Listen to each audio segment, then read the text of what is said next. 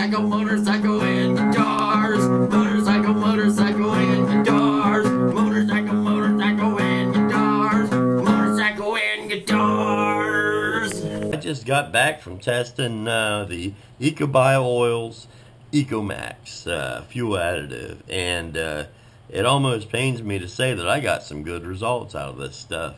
Um, it's the first time that I've ever tried any additive that actually did what it was supposed to do.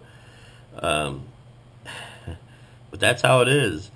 So anyway, my first real world test, I tried, I used my uh, Honda Rebel, which is a highly and well maintained vehicle. It's got a little over 30,000 miles on it. Uh, so I set some ground rules to try to keep everything fair and honest. Uh, first of all, I chose a route. I would use the same route each time. It's a 93.2 mile route or 150 kilometers. 13 miles of that would be at 45 miles an hour and the rest would be at 60 uh, miles per hour. Uh, this is all through the uh, foothills of the Appalachian Mountains. A lot of hills. Uh, each ride I would check the oil and the tire pressure before I left. And when I got back, I would check the tire pressure again just to make sure it was maintained. I went so far as to actually wearing the same outer garments for every ride. That would be, you know, my my coat, gloves, boots, uh, same helmet with camera in the same place, and I would even try to, to ride in the same position using the same posture all the way through the ride which through every ride, which was uh, kind of tough to do, but you know I wanted to get the best results I could get. Um, I did not account for the wind because this is a real world test out in the real world, and I can't turn the wind on and off. But only on one of my rides was there even any measurable wind according to the local weather, so it, it didn't matter much anyway. Um, at one point, I tried using some var varying doses of the Ecomax, uh, between one milliliter per two liters to one drop per two liters. And I found that I got my best results when I used one drop per liter. So I guess sometimes with some things, it's better to go less than more. Um, when I first started, the first ride I took, I took without using the Ecomax to get my my fuel efficiency uh, beforehand, and it was 63.68 miles per gallon. Um, the first time I put the Ecomax in, um, I was impressed by the power uh, be because there was one hill that if I start at 60 mile an hour at the bottom of the hill, by the time I get to the top of the hill, uh, I'm lucky to be doing 55, 56 mile an hour and I've, I've got that throttle open as far as she'll go.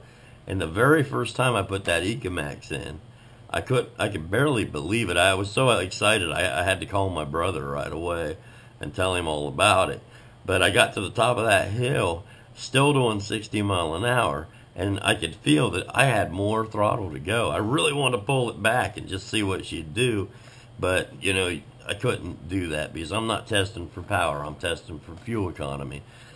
So, you know, actually, after I got done testing, I went back out to that hill and did it. And uh, it wasn't a, a whole whole bunch more power, but it was enough more power to make a difference. And I was impressed by that.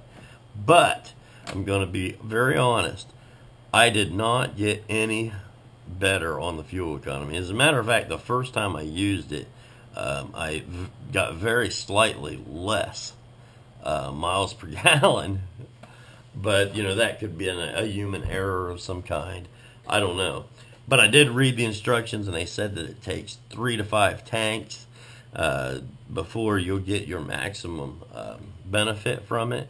So I didn't give up. I kept I kept testing it, and I'm glad that I did because the last test I did, I actually got 5.1% better fuel economy by using the Ecomax and um, over a period of, of just a few weeks, that's that's a heck of a big savings. So uh, you know, I'm going to keep using this stuff myself, and this is a vehicle that every other year gets torn completely down and um, cleaned up and and mic'd out, and any even slightly off mic, you know, piece gets replaced or whatever it needs, gets hand lubed and put all back together again. You know, most people don't do that with their vehicles. Yet this vehicle, that's how it's treated, and still, that's what really blows my mind is a 5.1% better on a on a basically the best maintained vehicle the, almost the best you can do at maintaining a vehicle. So it, it, that's crazy. I can't wait. I have a car that i have barely maintained at all. It's a very poorly maintained vehicle i can't wait to try the ecomax in that uh, because i expect pretty good results uh, maybe i'll be let down but but I don't know. I, am feeling pretty good about this stuff right now. Um, anyways, anyone who'd like to try this stuff, um, I'm going to put the website up for you. And uh, at the bottom of the video here, I'll, I'll put the uh, I'll put some YouTube videos that uh, that I found uh, with uh, some tests on it on run on the dyno. So thanks for watching, and, and I, I hope some of you guys try this stuff. It's pretty good stuff. Uh, later.